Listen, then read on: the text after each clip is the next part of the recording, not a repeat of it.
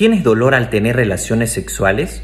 Pues a esto se lo conoce como dispareunia o también llamado coitalgia. Este dolor se puede dar antes, durante o después de las relaciones sexuales. Se da tanto en hombres como en mujeres, pero es mucho más frecuente que se den mujeres que en hombres. La sintomatología más común pues es dolor al tener relaciones sexuales. En los hombres se va a presentar con dolor durante la eyaculación. En las mujeres se presenta con dolor, ardor, dolor cortante en la vagina, contracción de la musculatura pélvica, etc. La causa de la dispareunia en los hombres se puede dar por una infección tanto en la vejiga, uretra o en la glándula prostática, etc. Otra de las causas puede ser fimosis también. Y en las mujeres existen muchas causas que puede llevar a la dispareunia, como la vaginosis, una infección geniturinaria, reacción al material de los anticonceptivos, etc. Tanto en el hombre como en la mujer también puede influir el componente psicológico. El tratamiento sería encontrar la causa de la dispareunia. Si es una infección, pues